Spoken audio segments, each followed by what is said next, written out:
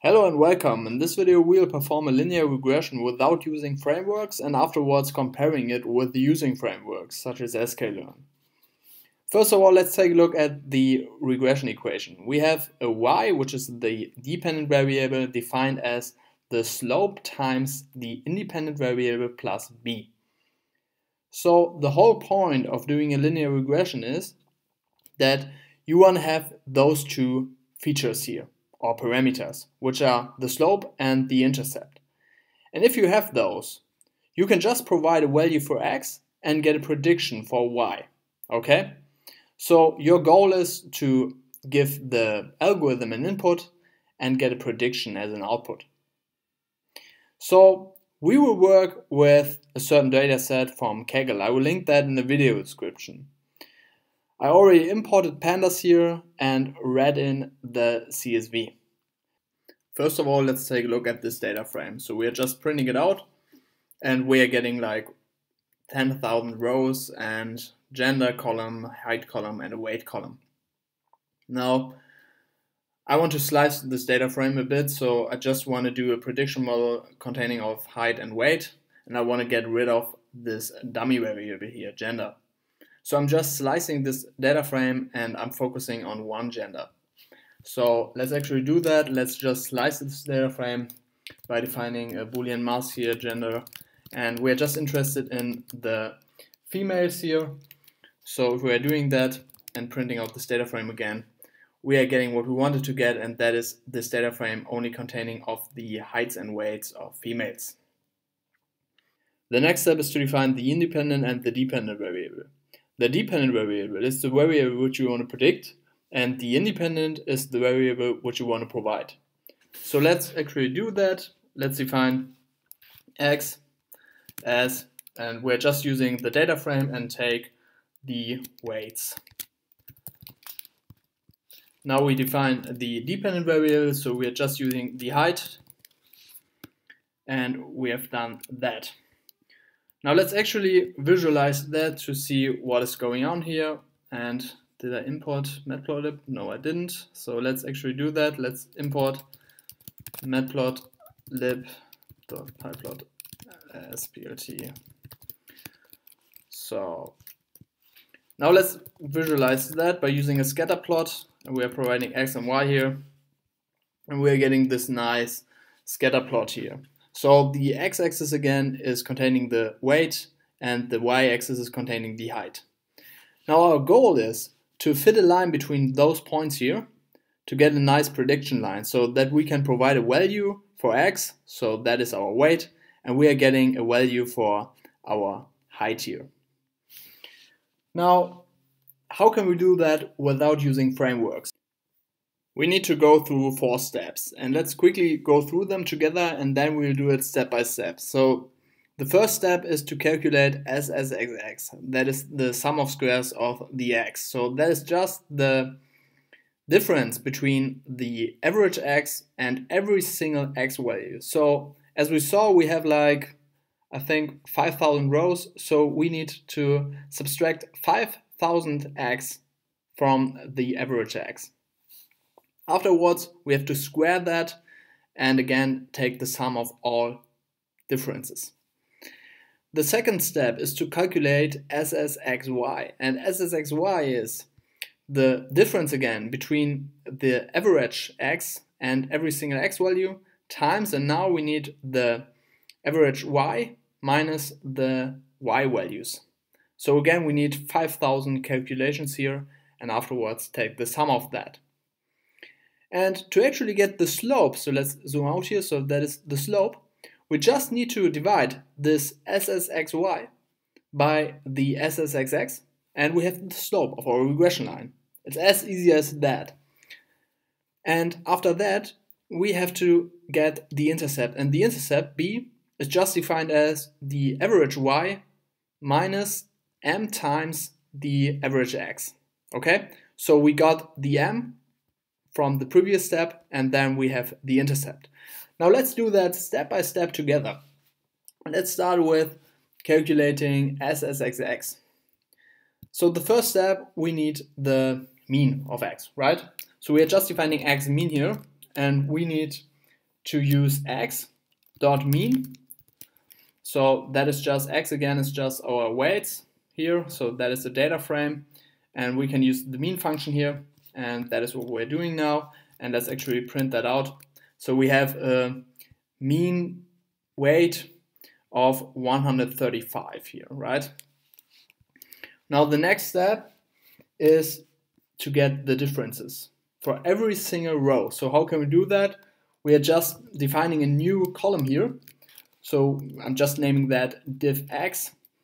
And we are defining that as it's written down here. So we are just using x mean minus every single x. So we are just using minus x here. Let's execute that and let's actually print out the data frame to see what we got here. So this column here, which we just created, div x, is just every value of x. So that is our x values, weight.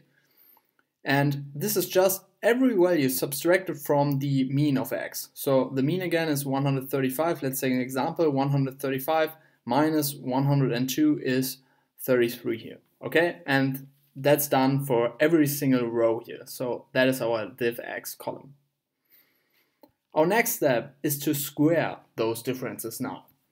So we are creating a new column here because we need this for the next step. So I'm just not squaring this column and overwriting that, but I'm defining a new column here. So I'm just using div x squared and I'm just using div x here and squaring that whole column. So let's execute that. And now for getting our SSXX, so this one here, we just need one more step and that is just, let's define that as SSXX and we are defining that as the squared column and we are just summing up this whole column. So we are just using div x underscore squared dot sum. Done. We have determined our SSXX. Let's define SSXY now. And we already got this part of this equation, right? That is just div x.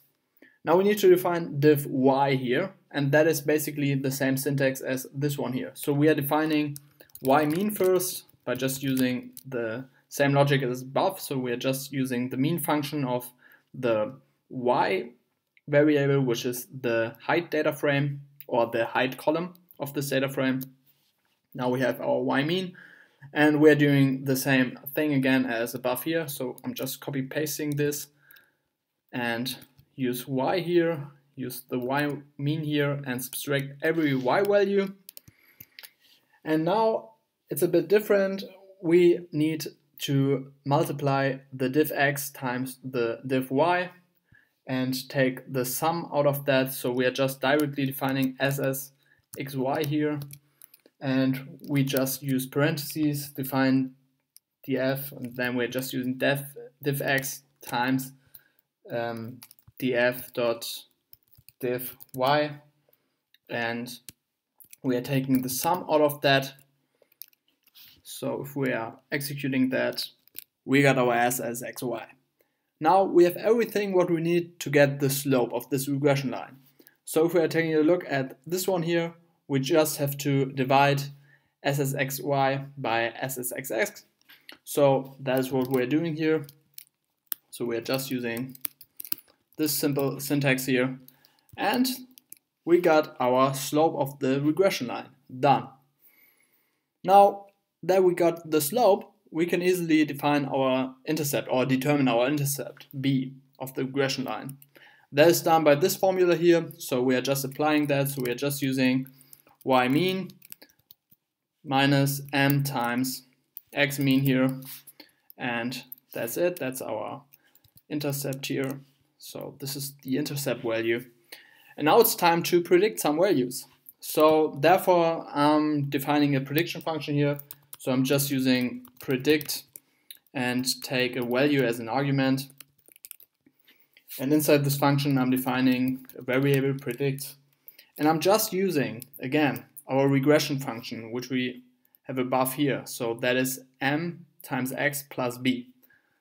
So I'm just defining m times x plus b here. And for this x, I'm taking my value. So I can provide a value and get a prediction for this value. So of course I have to return this predict variable afterwards.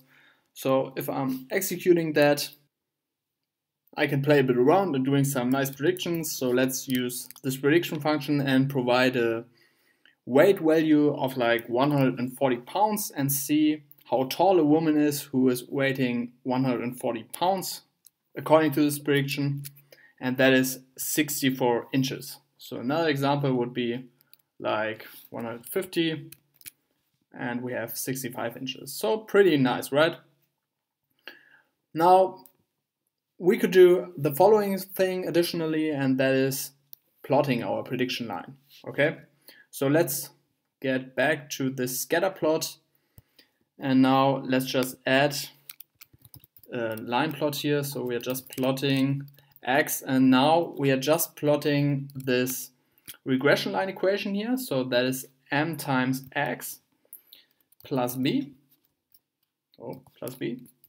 Yeah. So if we're executing that, and yeah, that's of course not good. So we have to define another color here. And now as you see, we have our regression line, okay? So again, just to make that clear, if I want to have an input here for the weight of a certain person, so I'm providing weight of 140, then I'm going on this regression line and read the value on the y-axis. So this is how it works, okay? Now, okay, we have done everything what we had to do to um, perform a linear regression without using a framework like sklearn. But did we do right? Well, we can only find out by applying sklearn. So let's actually do that and compare our results with sklearn. Therefore, let's actually get our results again. So our slope was 0.12, our intercept was 47.34, and we have a prediction function here, so we have a predicted value. So let's do that all with sklearn. So we are using from sklearn import, I think it's linear model. And I'm defining my model as linear model and then we are using linear regression. I think it's written like that. And now we just need to fit the model and use our x and y variable here. And this is not working. Ah, I know yeah, that's that's a kind of hard stuff with sklearn. You have to provide the input like this. So I have to amend this here with like two squared brackets for the um, independent variable. So you have to do these amendments here. Let's execute that.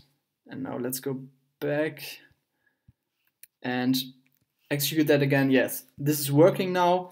And now we want to get the coefficients of this regression line. So if we're executing that, we are getting the slope. And this is exactly the same as our value. So we did perfectly, right? So we have this coefficient here. But as you see, so these are just two lines or three lines of code. And this is a whole pain, right?